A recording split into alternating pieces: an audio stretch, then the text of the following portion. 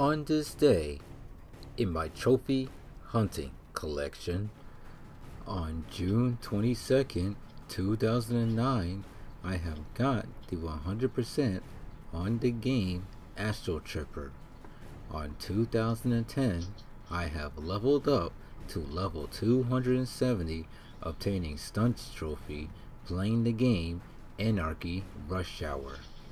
On 2012, I have Platinum the game Portal 2.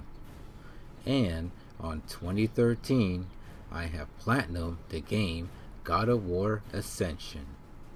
Don't forget to like, comment, subscribe, and stay tuned for another On This Day in Trophy Hunting.